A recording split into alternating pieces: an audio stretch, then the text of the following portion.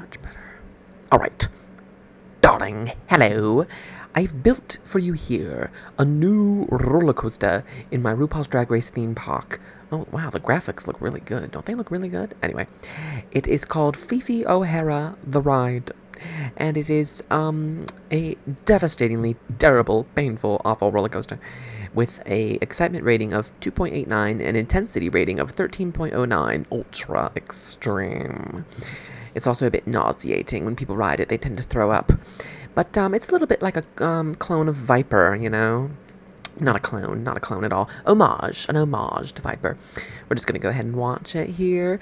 By the way, this is sort of a um, arrow style um, corkscrew coaster, which by nature are just unpleasant and painful. So it has that loop, you know, and then it has this like helix here, like helix of death, girl, Phi, ow.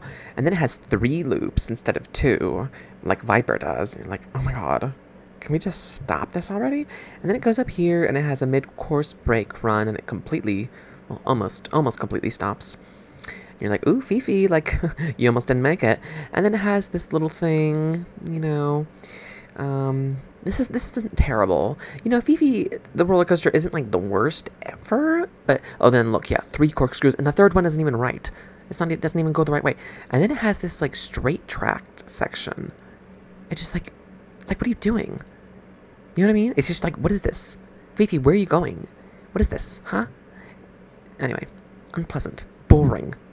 And you know, the the terrain here, um, I don't really know what this is. It kind of looks like that rubbery stuff that you would play, you know, on the playground as a kid. And um, it just sort of like blends in with the coaster. It's like Phi, you don't even like stand out. You know what I mean? It's just like, ugh. Like, is there anybody in line for her? No, there's no one in line for her. Let's see, these people just got off. Oh, well, he's, Nathan is, he's mostly just hungry. But yeah, there you go. Like, he rode Phi and now he's like hungry for more. It's just a shame that, like, Phi has to be right here by Ginger Minj, the ride, which is a very good looking ride. It's also a bit rough, um, a bit, you know. And then there's, of course, Gigi Goode the ride, which is perfection, darling. Oh, look at that, look at that, look at that. Oh, brilliant, lovely. Mm. Anyway, um, yeah, and there's like fire, you know. Um, yeah, that's my Phi O'Hara, the ride. And I want to go ahead and say this um, to everyone watching my channel, my YouTube Coco Chanel, um, which is Enrique. I've decided I need to expand RuPaul's Drag Race theme park, which means that I need to make a different park separate. Now, I have learned something from playing this game and playing in scenario mode, which is that these little people here, bitch, they are loaded. They have so much money. I, I don't have money in, in RuPaul's Drag Race land. I don't have it because I disabled it so I could build all this stuff. Otherwise, I wouldn't be able to build all of it. But they, when they do have money, they have so much money.